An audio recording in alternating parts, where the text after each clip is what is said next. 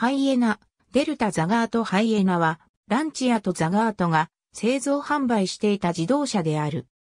オランダの実業家ポール・コートと芸術家ナーニ・テデスキの描いたスケッチをもとにザガートのマネージメントによって生み出された。ランチアデルタインテグラーレーボルツヨーネのプラットフォームを流用。外装は総アルミボディの2ドアスポーツクーペで内装は総カーボンファイバーとし、オリジナルのデルタに比べ 150kg の減量を施す。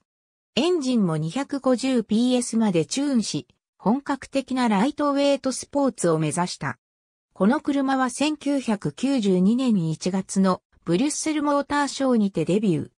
ザガート生誕75周年を記念して75台の製作予定と発表されたが、主にインテリアのカーボンファイバーの製造に問題があり、結局25台程度がラインアウト下に止まったと言われる。